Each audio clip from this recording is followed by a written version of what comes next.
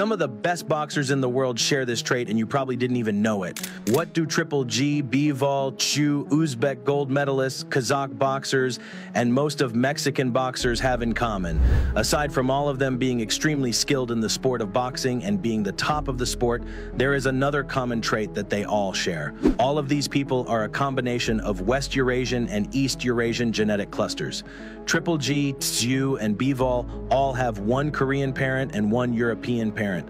Kazakhs and Uzbeks are both an ancient admixture of Indo-European steppe nomads and East Eurasian steppe nomads, with Kazakhs being slightly more East Eurasian shifted and Uzbeks being slightly more West Eurasian shifted. In terms of Mexican boxers, most of them are mestizo, which is a combination of Spanish, European, and Amerindian ancestry, and Amerindians are in the East Eurasian cluster. Although we wouldn't apply to it some of the Mexican fighters such as Canelo or Ryan Garcia as they are likely West Eurasian, it would apply to the likes of Julio Cesar Chavez and Ruben Olivares.